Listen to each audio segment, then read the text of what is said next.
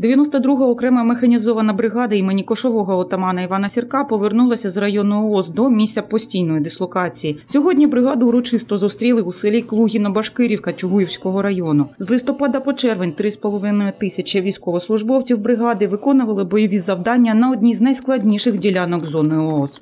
Ділянка важка. Е, Ми перший раз там стояли, ми не були в тих ротаціях е, на цій ділянці місцевості. Е, Важко, важко це е, майже е, все в полях. полях.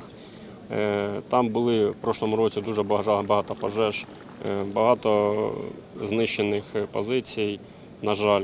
Але ми відновили, відновили, що там можливо, як було. Ми взимку стояли. Зараз інша бригада буде продовжувати те, що ми почали. За майже сім місяців бригада втратила від куль снайперів трьох військовослужбовців. Загалом з початку бойових дій на сході загинули 60 бійців підрозділу. Пам'ять загиблих вшанували хвилиною мовчання.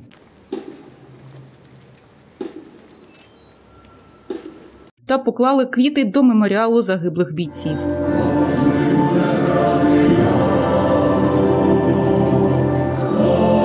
Бригада з честю виконала свої обов'язки на сході, зауважив комбриг та подякував бійцям. Наша бригада за ці сім місяців пройшла нелегкий путь.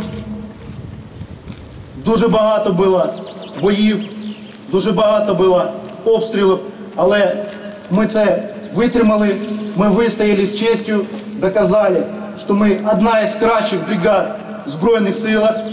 Я цим горжусь, я горжусь кожним із вас.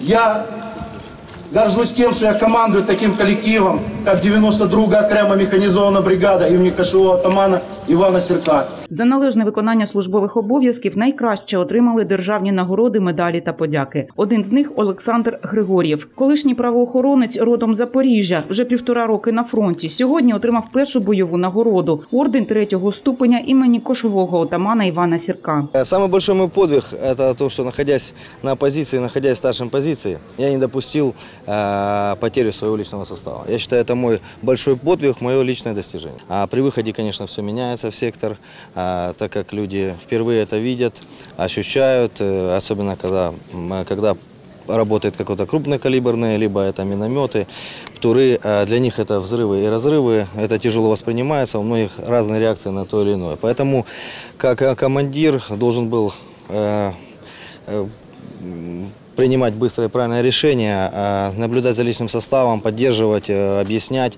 разъяснять. А ось Ганна Бобровник з Кривого Рогу, вчитель фізики. Від 2015 року була ще й волонтеркою. Мати трьох дітей майже рік тому підписала контракт. Е, В тому році, коли ми були на вічі на покладанні квітів е, героям, які загинули в літаку Іл-76, і мій синочок е, стояв з квітами, підніс. Я кажу, це герої, які загинули, захищаючи Україну. І він сказав: Мама, коли я виросту, я обов'язково буду вас захищати.